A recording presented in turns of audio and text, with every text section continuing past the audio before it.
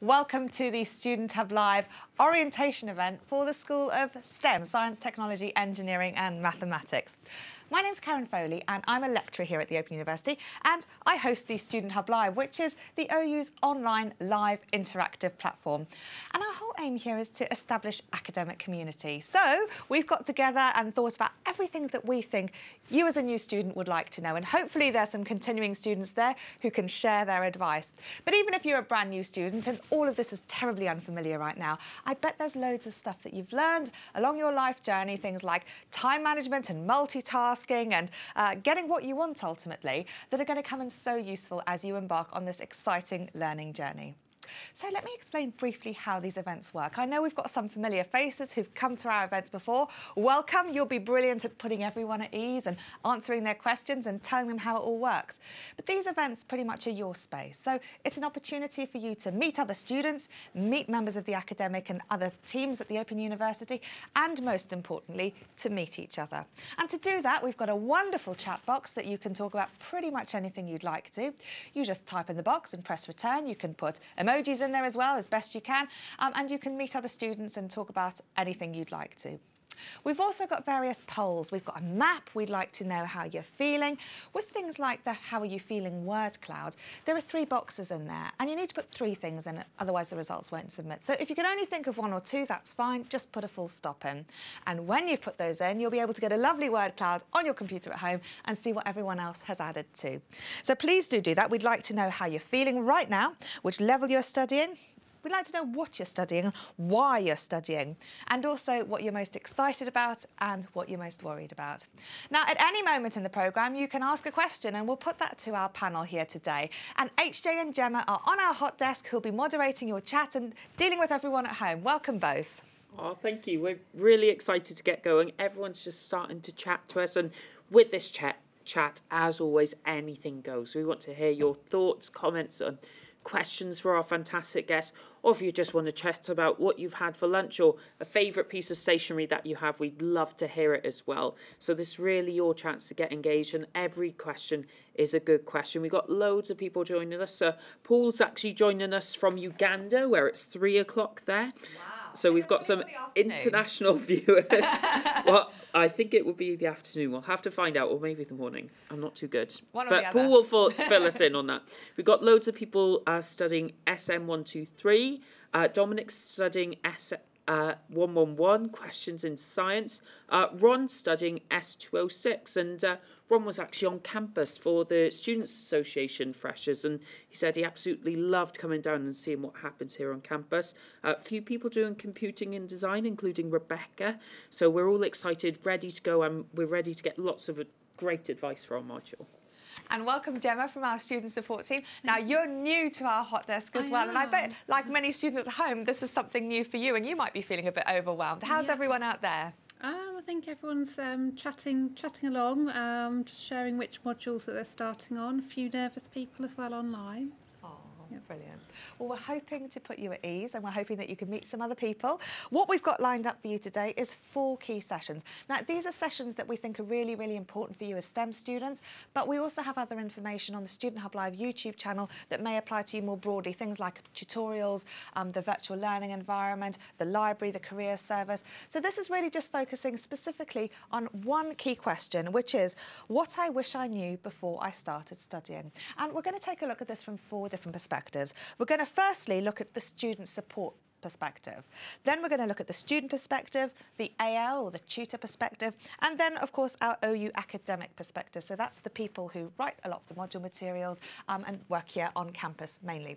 So we've got those sessions, and the first one we've got is with our student support team. I'm joined by um, some lovely guests here. I've got Liz Shakespeare, Aramide Youssef, and Laura Huff welcome. It's always nice to see friendly faces because uh, many people think I've joined this online university and now I'm going to have some computer talking to me. But no, you guys are really friendly. So let's um, let's make a start. We've got some more widgets that we'd like you to vote on. How comfortable do you think you'd, you, would feel discussing a problem with the student support team? So this is a hypothetical question because you may or may not have done this yet. We'd also like to know, have you ever run into any problems with your maths? Um, if you did have problems with your maths, what would you do? Um, and finally, after the session, um, how likely would you be to contact the student support team if you ran into any difficulties? So only vote on that towards the end. But right, let's start, Liz, with um, planning. So you're an educational advisor. Now, those sort of job titles, I guess, don't really matter to mm -hmm. students. They just call the student support team and speak to one of you lovely people. But your role is quite specialised because you help to give advice throughout student's qualification um, mm -hmm. or their study journey. Now, planning is something that we've been talking about throughout Student Hub Live as being really important. Why is it so important? I think I think you've hit the nail on the head there in terms of kind of saying, you know, we will speak to students at various points throughout what is basically a journey, and that could be, you know, at one point in their module, it could be at a point where an assignment's difficult, it could be, you know, looking towards the end of when they get in their classification. It, it, you know, there's so many different points they could speak to us, and I think it's really important, especially with some of the more flexible qualifications, especially in STEM world. Um, you know, there might be things that you should have done in the lower levels, and you know, to, to kind of make sure you've got the groundwork that you need to go on to the higher level modules. It, it's really important to kind of make sure you know where you're going from the start. I mean, advice that I quite often give is almost if you're on one of the more flexible qualifications or on, on a qualification that maybe does have a few different pathways, it's almost better sometimes to work backwards. So kind of go to your level three modules. Some of them will have prerequisite modules. Some of them might have modules that you need at level two, you know, that will build in that knowledge to build build up what you need. Um, I mean, I, I, think the other thing is, is it's really important getting the modules that are right for you, making sure that you're adequately prepared for them. Um, I mean, I'd say most of the modules in the STEM curriculum will have these really helpful little Are You Ready For tests. They're like diagnostic tests and they literally do what they say on the tin. So it is, am I ready for this module? You'll come to the end of it and it'll usually give you kind of, it'll ask you questions, give you kind of mostly they're marked with kind of a green, amber or red, you know, I um, kind of colour at the end to give you an idea. And if there are things that you need to go in and, and kind of almost revise before you start that module, it'll give you a really good pointer, you know, where to find those kind of things. So I think it's just making sure, you know, that you're planning things and, and putting things in the right order and also making sure the study that you've got is fit for the purpose that you want because mm, mm. I think that can be really difficult. Now, who sees the results of those tests? So we don't see them that is very much kind of private to the student. Um, what we might sometimes do is ask a student to share that with us to give us a more of an idea because obviously when we give advice it's completely bespoke. It's you know one-on-one -on -one speaking to that student and what their circumstances are. So we'd kind of put the student you know in the right direction of doing the test. Obviously we wouldn't necessarily say we want to see your marked paper and we want to know how well you've done. It's very much just kind of if they want any advice or they want to talk things through after they've done it, they're welcome to share it with us. So, yeah. Brilliant, excellent. Um, well, uh, Haley and Cassandra say that their problem is that there's too many modules and they just want to do them all. so, yeah. so that, that is one problem at the other end of the spectrum. OK, so we've talked about the importance of looking at some of those diagnostic tests, that they're all sort of mm. for your eyes only and that they give you a good indication. And I guess that's important because if you're going to be sort of embarking on something that's too much, then there are going to be problems there right before the start, aren't there? Mm -hmm, absolutely. And I think you know, it, it's good to know what you're signing up for, um, and I think obviously sets that expectation for yourself is, is you know what you're what you're kind of you know getting yourself into.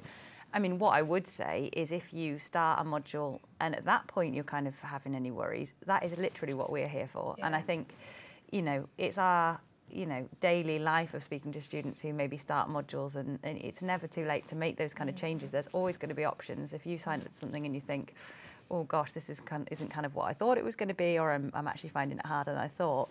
Not only is there you know support options which I think you know Laura's going to go on to talk about in a bit later but there's always opportunities to make changes and you know your study journey is yours. It's it's completely personal. Yeah. And i think one of the things that's quite specific to stem i know we've got students here who are not from the stem faculty but there are certain prerequisites mm -hmm. um, for certain level one and 2 mm -hmm. modules and certain things that need to be done in a certain order because of the way that the learning is designed. Mm -hmm. I mean, I'd, what I would say is, and I think it, it, tends to be with the science and the computing ones, but then maths, to be honest, all of the STEM ones, you're right, I think probably have an element of it. Um, you know, what we don't want is the students on the more flexible qualifications, like the open degree or the combined STEM, to get to level three and go, I'm really keen on doing this particular module, and then being blocked from doing it because they've not done the right level two. So that's kind of why I said about working backwards is making sure that you've got the steps you need to, to do mm-hmm. to do what you will need to do. And the only reason we have those in place is to stop students signing up for things that aren't they're not prepared for. And obviously no one wants to be studying a module that's Well, it's no know. fun, is it, going a bit beyond? It's like trying to run too fast, mm-hmm. and it's only going to just result in mm-hmm. an infinite amount of pain. Mm-hmm, um, so sometimes, I guess, you might advise students to take a step back, and sometimes at level one, that might be considering whether access is the best option. Yeah, absolutely. And I think that sometimes students will really, really benefit from an access module. And, and I think they'll always benefit from an access module, but not everyone has time for one, do they? Not everyone has time for one, and they are not compulsory. I mm. mean, obviously, all of our modules are open access, and obviously, some of them have prerequisites, but the majority you can just sign up from level one. Everything you need is included that. I'd say where the access ones come in really helpful is maybe if you're kind of out of practice studying, you know, or maybe don't have the confidence, a little bit rusty on the study skills. I, I think that every student I spoke to who's done an access module, they've got something out of it, mm. whether that is, again, just that little bit of extra confidence or just a bit of extra practice, really. Brilliant. Now, another thing that uh, I know you'd like to recommend students do is take a look at the assessment strategy. Yes. So this is, I guess, how the components of the module come together in terms of what the examinable components are, or maybe there isn't an exam, um, and also the percentage of marks that are weighted for each TMA, tutor marked assignment. And I think that's really important because I think one thing that we've seen in the past is, you know, if a student does one module, they then make assumptions that every module that they do following that is going to be the same, it's going to be the same mark scheme. Now, as you can imagine, some of the assessment strategies, they might be marked just on the exam, they might be a combination of things, there might be a project to do. And if students know right from the get-go where those kind of important weighted things are, I think it makes them easier to know what their strategy for that module is, you know, on a personal level. Um, and so I would say don't assume that every module you're going to do is going to be the same because they will be different. And, you know, it, it's good to know, I suppose, where those weighted assignments are that are going to be, you know, worth more weight. Brilliant. Well, we asked people how comfortable they think they'd feel discussing a problem with their student support team. 59% said comfortable. so that's great. That's great Only news. 3% said uncomfortable and 38% said unsure. But I hope you're putting people at ease. HJ and Gemma, how's everyone at home? We're doing well. We've got um, a lot of chat. Um, a lot of people are agreeing that maths can be a bit hard. I find maths hard myself. Uh, Beverly agrees, but Beverly's got a good, determined mindset. Uh, she wants to learn more and she wants to get through her maths box to do better. Um, Ruth says as well, maths have definitely been the most time consuming and challenging for me, but I've surprised myself that I can get it, which is great and really positive to hear. Um, Wanda does say that uh, her desk is fabulously tidy, so shame my mind isn't the same way, which I know exactly. But unfortunately, both my mind and my desk are not very organised. Gemma will attest to that, I reckon. but uh, Haley's got a great question uh, that our guest may be able to help us with: is how we can put some keywords into your own words, such as the definition of atoms, which is universal. Oh, that's a hard question. if you want to bank that, I can ask someone else. I mean, I, I think that's something that strugg- that a lot of STEM students struggle with is putting things in your own words when it is something like science, because there's not always a way, another way of describing it. I mean, what I would say is there's a lot of help about things like plagiarism, um, you know, about how to avoid it. And I think, again, with science, it is harder because there's only so many ways you can say something sometimes without it changing the meaning. So, but yeah, on this, I would say have a look on the um, the student homepage, have a look on the help centre. There's loads of sections on plagiarism and just practice. On the upside, there's very few essays to write on maths, so uh, every cloud has a silver lining. And I think it's an important thing, and, and your tutor will really help with that as well, won't Yeah, they? yeah. It's important to think about what you're being assessed on and then how you want to phrase particular things, considering the learning outcomes. Um, We've asked people about running into maths problems. Okay, so this is the next area I'd like to talk to you about, um, Aramide, because uh, 30% said always, 67% said every now and then, and only 3% said that they've never run into any maths problems. and then we asked if they did have problems, what would they do? Um, and the winning result here, would you like to take a guess? It's between Google it or speak to the tutor.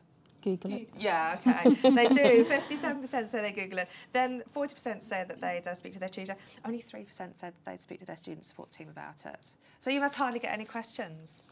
That's quite funny because I think um, often when a lot of students do contact the um, student support team regarding um, any sort of queries they have, sometimes, a lot of times it is actually maths related, um, but um, we are aware that there is a larger population of students who perhaps aren't coming to the student support team mm.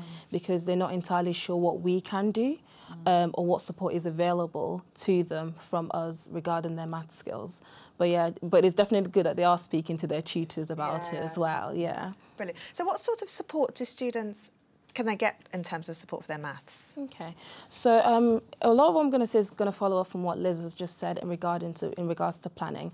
Um, you don't necessarily you know need to do a maths qualification for you to for you to um, need maths. So a lot of the STEM subjects and STEM qualifications do actually require do have an element of maths.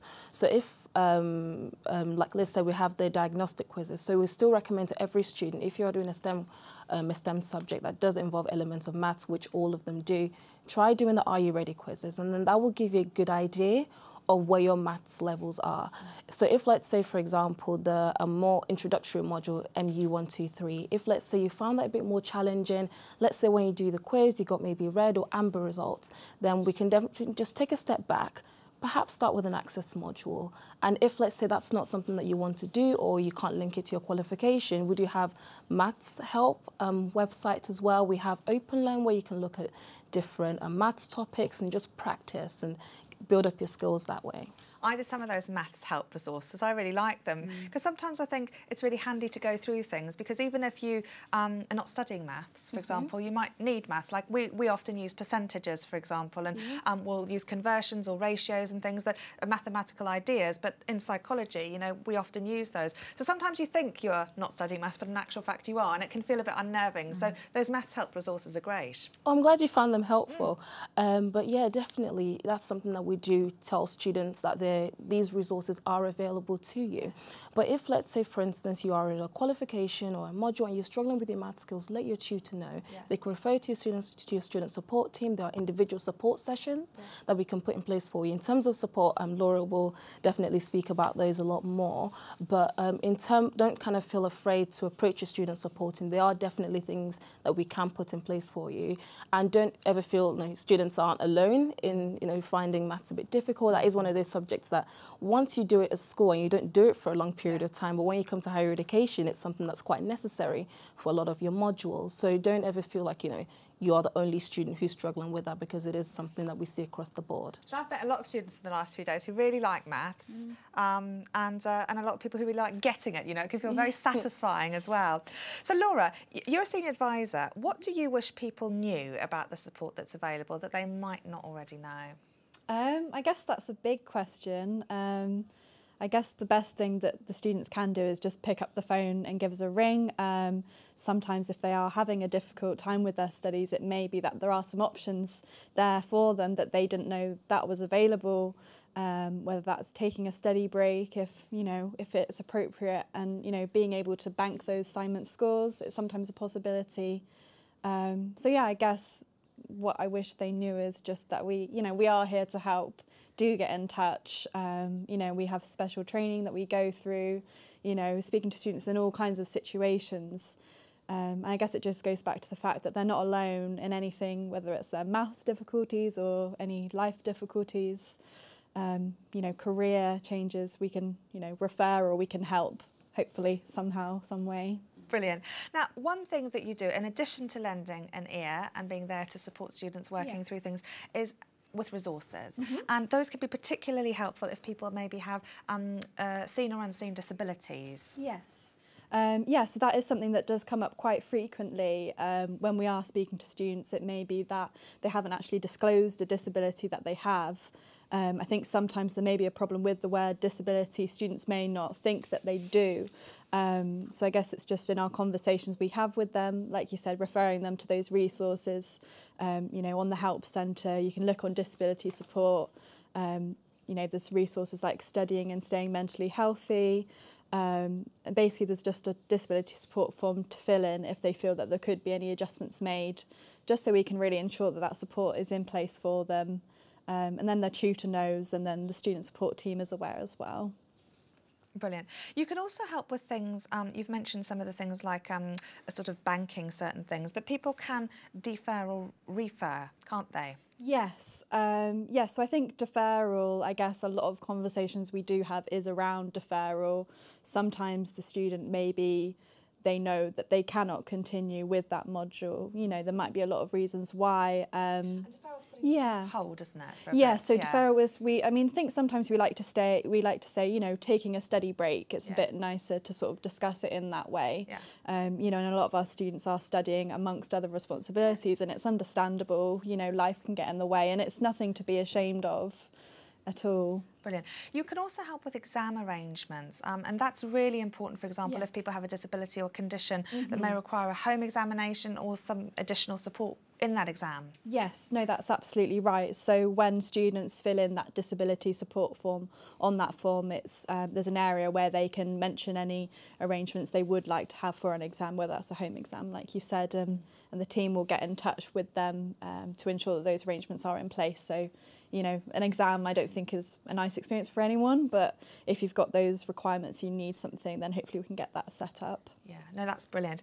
Now, one of the other things that you do is you know a lot of the other contacts and resources at the university. You've mentioned a few of them, but you can put people in touch through referrals to like the careers service um, and various sort of other places, the DST, qualifications, etc. So if people call you then and you don't know the answer to something, or somebody more specialist is more appropriate to cover that, you just put them in touch with them or, or get that information for them, don't you? Yeah, exactly. So if a student, if we're speaking to a student and, you know, maybe we can deal with one of the queries they have, it may be that sometimes we, you know, we say we're going to get back to you later. Maybe we, yeah, consult with another team. Maybe we ask the other team to get in touch with them. Either way, the query will get resolved. Um, and yeah, we are quite aware of whether it's, like you said, the qualifications, if they wanted to claim like a, a milestone qualification or if they want to speak to a careers advisor you know, we're aware of where to refer them. If we don't know the answer, then someone else does, basically. and in addition to having all this incoming um, stuff, you also do proactive phone calls. Now, if I had a, an email, if, especially if I was maybe feeling a bit behind or like that I wasn't doing so well, and I had the OU phoning me, I'd think I was in heaps of trouble. Um, I would. Um, but uh, you guys actually phone people up and see how they're doing, and there are times of the year, maybe if someone hasn't submitted something or there's a particular time that you know from previous experience can be challenging for students, you'll get on the phone and you'll get in touch with people. yeah, absolutely. So myself and Aramide are in the yeah proactive student support team in Manchester. So our role does focus primarily on proactively contacting students. Um, yeah, so we, we do sort of appreciate that we are calling them. It may not be the right time to call, but we do usually send an email to say that that you know expect a call from us. Um, but we do have some really you know really positive calls. We're helping those students again. Maybe there's options they didn't know, or just putting them in the right place. Um, so I think it's yeah, it's a really great form of support that they've got there with that. Fantastic. Now we've got some various resources, some that we've spoken about, the maths help, the maths choices, um, and of course access to OpenLearn. Um, but HJ and Gemma, how's everyone at home? We're doing really well. We're chatting about how good Open Learn is, aren't we? Ah. Yeah, lots of people have come across the materials online. It gives you a bit of a taster of modules that you could be studying. Mm, and I like what Joy said. I did a free access course last year, which helped me with my maths a lot, and I'm confident for the degree now, which is great to hear. And uh, Joanne says there's so many modules I want to study. It's like a sweet shop. So uh, perhaps the student support team can help us in choosing our modules as well. That's best for us. They absolutely can. So that's great. All right, never too early to start thinking about that. And of course, as an OU student, you've got access to the Careers Advisory and Employability Service, who can give you great information as well about how your qualification might. Um, offer more potential for your future career ambitions. So I'm going to end with our poll. Um, earlier on, we said how likely are you to speak to the student support team? Right now, 74% say that they're likely to speak to the student support team. So that has increased. Um, so I'm very pleased about that. So you've done your job and you can go home now, or you can go and take more calls from students. And, and if you'd like to call the student support team about any of those options, um, they're on the end of the phone. What times of day are you guys open? We are open, I think, 8 till 8 weekdays, 9 till 5 Saturdays. Brilliant. And there's also an email option, isn't there? Yes, although we've all got different ones, so probably best to go on Student Home and find Your the student refer- support yeah, your team student support email. team and find us that way. Brilliant. Okay, well, that's wonderful to know. Well, thank you all mu- so much for joining me today and showing the friendly face of the student support team. And we're now going to show you a video uh, about the student support team, and then we will be back um, to look at the student perspective. So I'll see you very soon.